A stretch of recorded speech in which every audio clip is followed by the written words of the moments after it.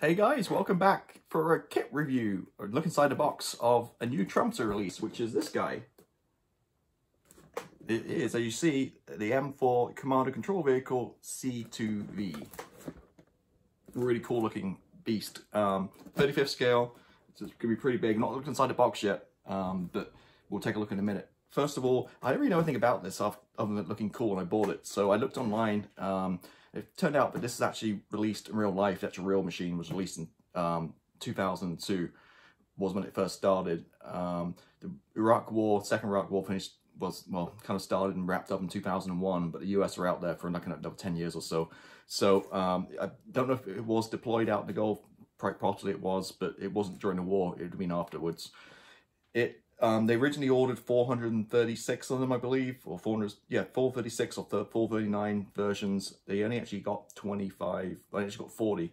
Um, there was, they postponed it, and then in the end they cancelled the procurement. They said they didn't need them the army. The They were going to change the 20, the 25 um, they have operational, and they have 15 they keep for spares and spare parts. They were going to turn to ambulances, but in the end, apparently they kept them for its intended use of a command and control vehicle. So real quick look on weaponsystems.net is where I got my information. I'll put a link down you guys to share it with you guys too. Link down below. So basically, like I said, it was it's entered service in 2002. It cost 1.9 million per unit. Um, 40 were built, 25 um, produced, and 15 were fielded. And it's um, a command post vehicle, US, obviously, um, developed late mid mid late 90s to replace the M577 series of command post vehicles in US military service. The M4C2V was being mobile, large, and better equipped, with funding allocated to other projects, only a limited number of these vehicles were actually produced. The M4C2V was based on the M993 chassis of the M270 MLRS multiple rocket launcher. This type of chassis shares automotive parts with the Bradley series of mechanized infantry fighting vehicles. So it's kind of the Bradley range. Um, it goes on and on. Um, it's a very good article. Like I say, I'll post it if you want to read more about it. But like I say, I didn't really know what this was, uh, so I kind of really wanted to kind of just take a quick glance and see actually what it was all about. So um, yeah, I don't know if it has an interior or anything. Like I said, I'm open the box. So let's switch the camera down to the bench and take a look inside and see what actually gets inside this box. Okay guys, here it is, the M4 Command and Control Vehicle C2V by Trumpeter on 35th scale. This retails for about $85, but I say retail because Trumpeter is typically a lot less than that online and eBay and those other places, especially in the Far East, you normally pick them up for about 60% of that price. Um, see here, length is 22, just over 22 centimeters long, 9, 9 centimeters wide, and has over 960 parts. A lot of that is kind of, armor is kind of irrelevant because most of it's track pieces. It is kit number 01063. See that? And it looks like it has some photo etch and some few decals. And that's it there. Nice looking vehicle. So as I just mentioned, it's based upon the Bradley, um, has some common parts of the Bradley fighting vehicle. So here's a box. Quite a lot of parts. Let me um, put this aside and let's look at the instructions real quick first. So Firstly, the marking guide. There is just one marking, and that's this one right here. Unfortunately, Trumpeter don't put down um, where it's from or which brigade or where it was stationed or anything like that. So you have to do a little bit of research, I guess, to find out. So here you go. It's, it's nice in color though. Um, places like Kinetic, manufacturers like Kinetic still do um, black and white callouts in some kits. So here's instructions. I did take a quick glance through just to see if it had interior, and the answer is yes and no, in that the cab at the front has interior, but this whole back bar is is, is empty, has nothing back there. Um, you, you can't see inside there anyway. Okay, so here's all the sprues, the parts, as always. Uh, start with the road wheels, lower hull.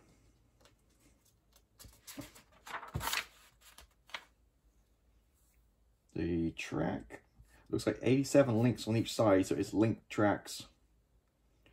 And it looks like, um, yeah, so you have an option to put the, pad in or not inside the link, and then that's where your pieces come in, and there's 87 on each side.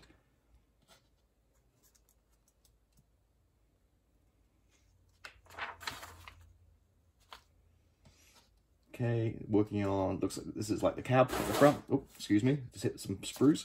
This is the um, cab at the front. This is what I talk about the interior part. You got like gear lever, gear stick, um, some pedals and stuff. And then some seats and some more interior in the front. Um, not that you'll probably see much of this, but there is.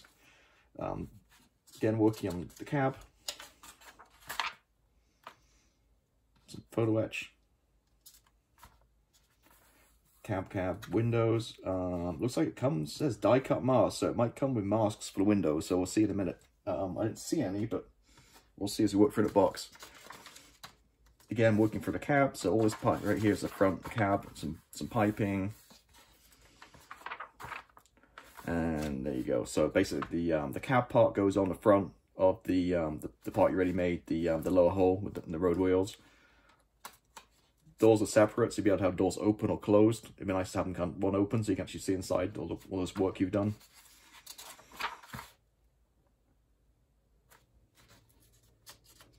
And a couple of parts. So we're like two-thirds of the way instru through instructions. So really two-thirds get through this stage, and then there's not much for the back here, I don't think. So from part 20 to part 21, working on um, 50, 50 cal or gun top. Then now we're starting to work on the back, which is basically two big pieces, and then a bunch of like lumps and bumps that go onto it. So that's why I mentioned there's no interior in this part, it's just a box at the back. Yeah, more lumps and bumps. You have to bend some photo etch. Here it gives you some scale, how, how to bend it, the size. I need some other little, like lumps and bumps, some lights. And then the top part goes onto the bottom part. You've got some steps at the back. If you want open, open mode. Or close mode. Oh, it, ladder. Okay, for a minute I thought you opened the back or front, like a like a rocket launcher kind of thing. But okay, so now you can have ladders either down or you can have ladders up. And a fuel can. And that is it. Um, so looks like most of your work here is on, on this part of the front, and then once you get that done, you pretty much, that goes together pretty quickly. So typical kind of trumpeter, then instructions, and let's look at the plastic.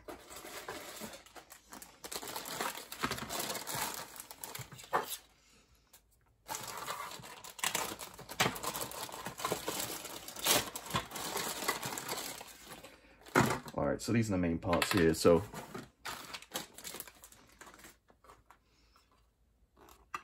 lots of detail, grab handles and stuff. It's a good old size too. You can see this at the back. Uh, cab. I don't think I really need to get these parts out, but one piece.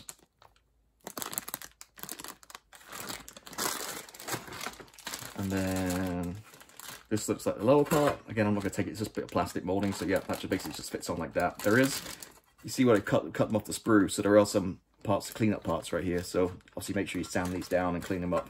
They've just kind of hacked them off the main sprue and they packed it. Um, so that will just fit nicely onto that and create the back. Okay. Tracks. Looks like they just kind of one piece. Like I said, there's a pad to go on. Again, I need to open all those up to 87 on each side. Not a big fan of these tracks. I'd rather have like the ones like Ryefield or um, Meng ones where you have the pins that go on the side. I find often with these guys, they just kind of, even you glue them, they just kind of crumble when you try to put them on once you painted them. Um, I don't want to have good success with these. But I'm sure there's a good way of doing it, a good knack. Photo etch, nice one fret, looks like got some wire, some cable, and photo etch, some grills, some other little bits. This is um, the decals, which are behind. Let me open this one.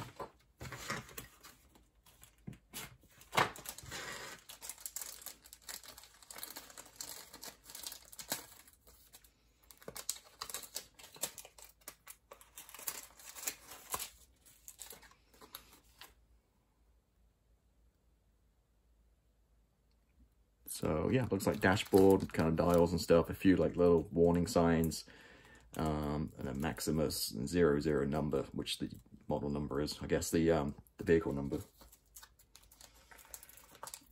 Now these, yeah, these are your, oh nice, comes in a mask set. It's not like, not the usual kabuki tape, it's kind of like rough, it's kind of interesting material, but it is die cut, so you just peel these off, so it makes it a lot easier for painting. So you can put the glass in and then just mask it, and then when you're done, take the masks off.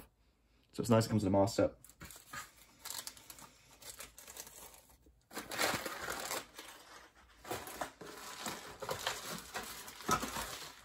Okay, next up on the other side, these are just the pads for the tracks. A bunch of sprues, and you open those up.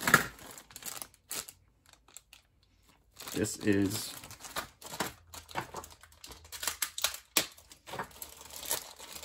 the, the floor of the cab.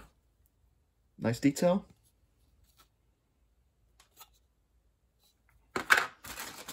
And look like the wheels, like the rubber goes around the wheels. Clear parts um, look very clear, nice. I like kind of the rivet, it rivet kind of, it was bolt kind of around the edge too, it's nicely detailed.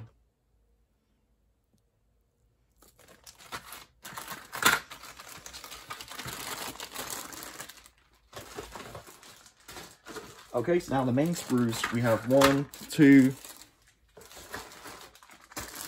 three, four, five, six, actually match pair, so eight, nine, 10, 11, 12. So a lot more plastic in this one too, so.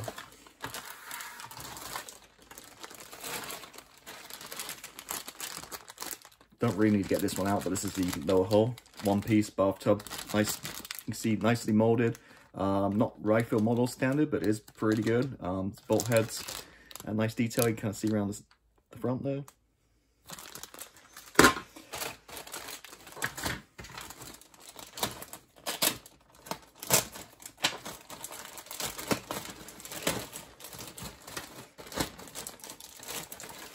This one is ruby. Nicely plastic, nice and crisp plastic is one nice thing. Um, there's no flash on this at all. It's really nicely molded. Just some, just some pipes, um, some hatches.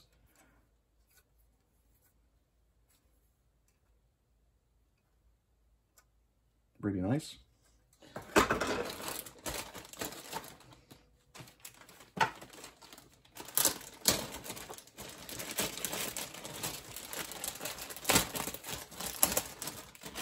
Next up.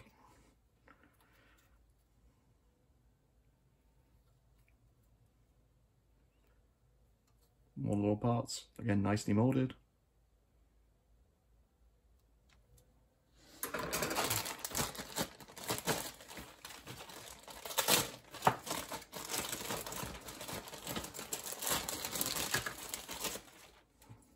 The doors, look really nice.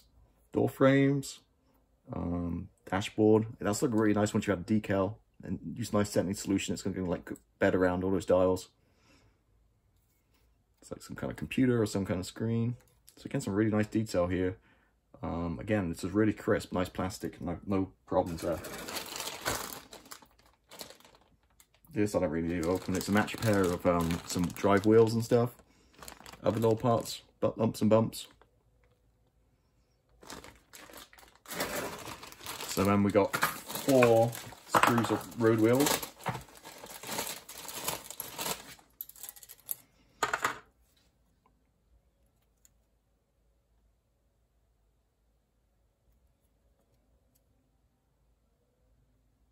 Again, looks really nice. There are quite a lot of like these little like ejection, like the pins where it's join joining parts you have to take off and sand.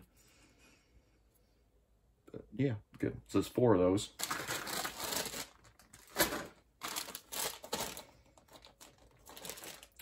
This is just a couple of like internal parts, like cabinet, like cabinetry inside panel, some some kind of vent or grill, some other little like lumps and bumps.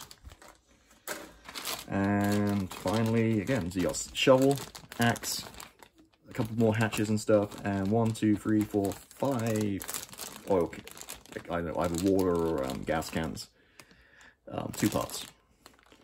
Again, really nice. I, so there are a few ejection pin marks, but they are kind of in hidden places on the back end. Going through this, I don't see any major issues. Again, you got a few ejection pin marks, but you're not going to see anything inside this. So, I mean, it's fine. So, this kit looks really nice. Um, lot of parts, um, like I say, over 160. It's going to make an unusual vehicle. If you like your modern armor, then this is probably for you. So, again, this is the Trumpeter. What number is it? This is the Trumpeter 01063, 35th scale, M4 command and control vehicle, which is a C2V um, yeah, there you go. So if you're interested, um, like I said, it just came out recently, last few weeks. Um, so it should be available at all your usual retailers and stockists. So I hope you found this video interesting. Again, just a quick look inside the box. And um, if you want to see any more videos, feel free to stop back. Um, I'm posting quite a lot of content right now, a lot of update videos of um, what I've been up to, um, middle building some aircraft, and also actually building the Firefly uh, Ryefield model tank as well. I'm kind of just um, working my way through that um, slow time on the side. But yeah, there you go. So thanks for watching. Take care, and I'll see you next time. Goodbye.